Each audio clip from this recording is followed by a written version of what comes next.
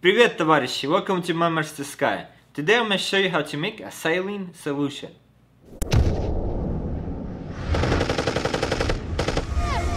This solution is very easy to make, so please don't get discouraged and think that you cannot do this at home. This is very simple. Saline solutions are typically found in hospitals, pharmacies, and most of your major stores.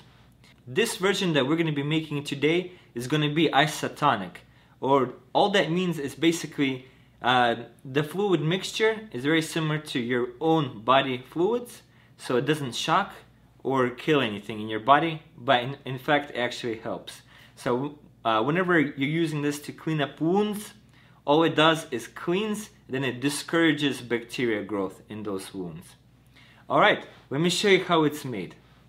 Now, the only thing needed to make this simple saline solution is to simply take one teaspoon of salt and a metric that's 5 milliliters.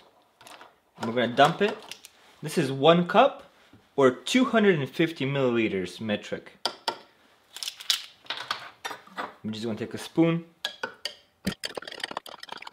If you look at it and you see that it's slightly opaque like this, then you know that you've done this correctly. It, now remember, it always helps to have warm water because the, the salt more easily dissolves in that warm water. But you can do it in uh, room temperature or even cold water if you had to. But this is exactly what you want to do. There you have it. Do you see how simple that was to make? Now for best results, use distilled water and use iodized salt, which basically means there is no iodine in that salt. Also, another very cool fact about this is that you can use this as a oral disinfectant. So you can use this as a mouthwash. And if times get hard, you can afford actual mouthwash. You can uh, make this and use it. Or if you're in the field. Uh, and what's awesome, all you need is just some salt. You don't even need to carry all this pre-mixed. You just carry some salt, add water in the field, and you, you got it. Um, now keep in mind, as far as to keep it sterile, um, you only have a short period of time, even if you're using a stored container.